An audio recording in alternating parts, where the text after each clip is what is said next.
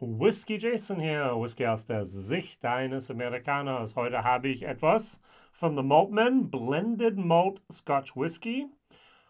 97er Vintage, okay, alles was hier drin ist, muss aus dem Jahrgang 97 sein. Das ist hier 23 Jahre alt, also ganz hat es nicht auf 24 geschafft, weil es 2021 abgefüllt wurde. Und das ist hier von um, ähm, The Finest Malts from Macallan. Uh, muss teuer sein. Diensten. Uh, ein Tobermory. Aha, interessant. Ich habe tatsächlich 138,50 Euro dafür bezahlt. Whisky Base Nummer 192711. Das war ein bisschen... Nö, wird nicht besser werden. Antiklimatisch. Und ähm, ich habe absolut kein Problem damit, Blended Malt zu trinken. Ich finde sie sogar manchmal auch ganz gut.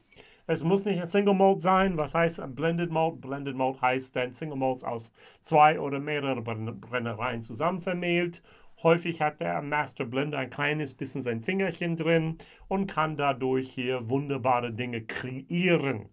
Ähm, jede Brennerei hat auch natürlich seine eigenen Fässern und kann dann da auch zusammen vermehlen, ähm, hängt viel mit Fass zusammen. Aber manchmal ein Blended Malt Scotch Whisky hat dadurch mehr ähm, wie Geschmacksrichtungen, ein bisschen Gewürze. Man hat nicht nur Salz oder nicht nur Pfeffer oder nicht nur dann hier Rosmarin oder nicht nur dann dieses. Man hat ein bisschen, kann man mixen, kann man Kräuter de Provence erstellen und das kann super schön sein. So, ähm, 1086 Flaschen, so 138 Euro, nicht günstig, gibt es immer noch. Es kam tatsächlich September 2021 auf den Markt, also ein halbes Jahr später. Viele, viele Shops haben das. Da steht Macallan drauf, Leute. Es ist 138 Euro. Und es ist 23 Jahre alt. Das Zeug könnte 230 Euro kosten und man würde es trotzdem noch wahrscheinlich ähm, kaufen. Vielleicht ist das der Problem. Vielleicht ist diese Whisky zu günstig. Wer weiß, wer weiß. Kleines Haken an der Sache ist 45,8%. Und hier steht ähm, tatsächlich Non-Chilled Filtered, yay, Natural Color, yay, and Natural Strength. Also das heißt, nach 43 Jahren ist diese Whisky schon dann auf 45,8% runtergekommen. Was mich ein bisschen genervt hat, also mich ist es nicht so schlimm, aber guck mal, diese Label haben sie einfach verkehrt rum drauf getan. Also hier Import ist dann dort bei Albe Import. So, und da The Malt Man. Also The Malt Man ist für mich immer noch so eine der ganz wenigen Brenner, ähm, nee, unabhängige Abfüller, die ich blind vertraue. Ähm, nicht alles kaufe ich denn da. Wenn da steht zum Beispiel ein ähm, Legic, würde ich einfach sagen, ist nicht für mich. Aber bei so etwas habe ich gedacht, da würde ich gerne dabei sein. Womit möchte ich es vergleichen heute? Ding, ding, ding, ding, ding, ding. Also wir haben hier von uh, Spheric Spirits, den 1900, ähm, genau, Entschuldigung, wir haben von Spirit Spirits, der 1988er am Blended Malt. Der ist 31 Jahre alt. Das ist von 97, das ist hier von 88. Wow. Also wir sind bei 43,1% und das waren First Fill Bourbon Barrels mit 655 Flaschen davon. Ich kriege die Flasche auch hier für 170 Euro noch online bei Whiskey Base. Ich habe noch keine Information, was die ursprüngliche Preis war. Habe ich nicht aufgeschrieben.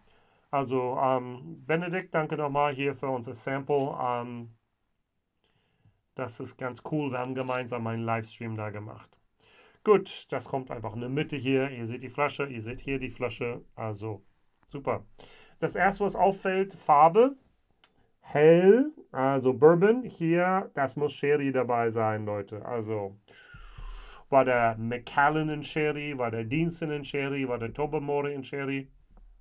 Also mehr Informationen kriegt man hier nicht. Also das ist ein bisschen was da, wo das ein bisschen unser Beispiel hinkt, aber da muss man einfach ein bisschen so diesen Sack im Kau in, in, in, äh, Katze im Sack kaufen und sagen, okay, ich weiß die Brennereien, McAllen, Diensten und Tobermory, aber darüber hinaus, mh, nö. Also dieses Geheimnis bleibt hier bei Master Blender. Oh, also ich sag schön. Ich sag alt. Ich sag Leder, Möbelpolitur, ein bisschen Kirschblüten. Oh ja. Also, ich bin erstmal dort abgeholt, wo ich sein will. Also für die 138 Euro oder 134, es gibt es jetzt schon bei ein paar Läden, bin ich hier absolut voll in den Bahn von diesem Whisky gekommen. 23 Jahre, Mensch, also 103, 134 Euro. Ähm, jo, das kann man hier tatsächlich machen. Tabak, Tabak, ein bisschen Leder, Pflaumen, Kirschen, würzig, sehr, sehr schön.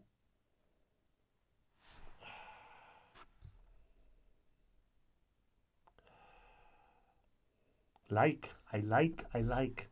Hier unser Spheric Spears, Spheric Spirits. Anders. Also da kommt hier dieser Bourbon-Moment durch, ein bisschen dieser wachsige Moment. Da hat auch ein bisschen Funk, auch ein bisschen hier was Schönes dabei. Oh, das hier, ähm, die dunkle Sherry-Noten sind viel, viel prägnanter denn da.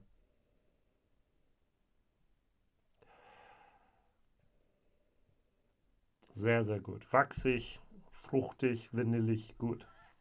So, wir haben beide nicht unbedingt die protzige Fassstärken. Es ist nicht 55, es ist nicht 60. Es ist hier tatsächlich, was wir haben, ist denn dort 45,8. Und mehr krieg, kriegen wir nicht. Und das finde ich absolut okay. Cheers!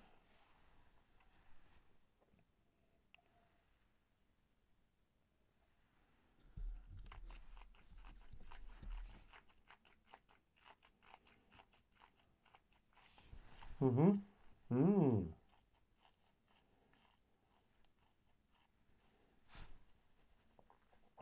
Hinten raus ein kleines bisschen Eichenwürze. Orange. Beeren. Tabak. Mm. Zwei Minus. Sehr gut, aber ich habe ein 2 Plus erwartet. Das ist auch mal, also mein Gesichtsausdruck ist eher, was ein 3 Minus? Nein, es ist ein 2 Minus. Ich habe wow erwartet und ich habe gut bekommen. Gut. Und ein bisschen vielleicht ist das unser Problem. Der ist relativ, kann man sagen, glatt gebügelt.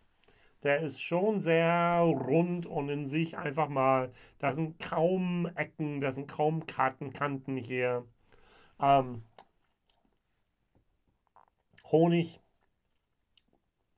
würzig, karamellig. Nice. Aber nur der kleinen Brüder von? Nein, so schlimm ist es nicht. Es ist ein guter, guter Whisky.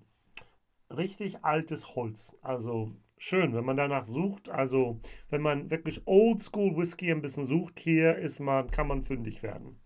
Und für den Preis für 138 Euro, heute sage ich, was ein Schnäppchen.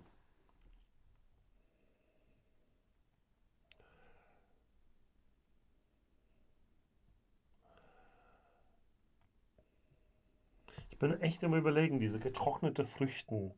Ist da ein bisschen wie Weingummi-Moment da drin?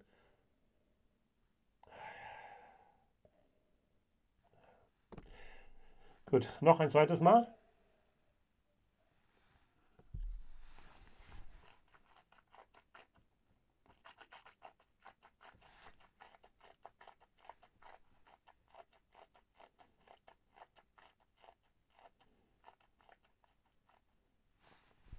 Süßer, als ich erwartet habe. Auch am Ende dieser holzige Moment. Ha. Viele rote Früchten. Bisschen so diese altmodische Sherry-Momente sind da drin. Rauch, Fehlanzeige. Asche, Fehlanzeige.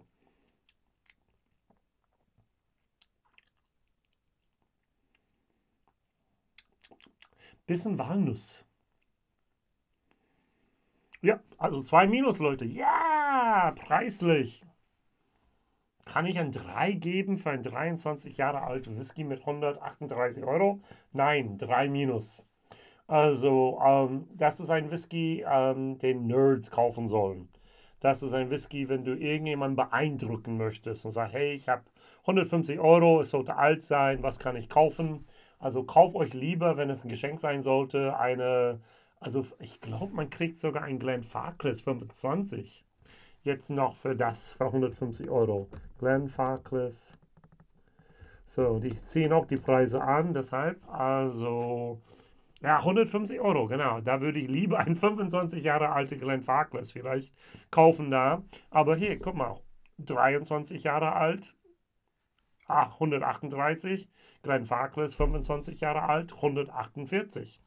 Also von daher ist das ungefähr richtig ähm, bin der Preis jetzt hier, wo es sein sollte. Und deshalb auch ein 3 Minus. Das ist kein Schnapper, das ist viel Geld.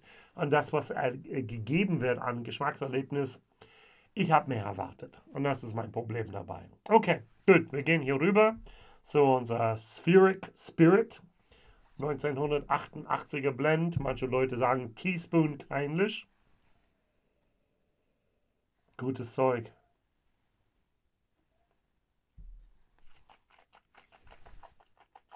Hm. Mhm.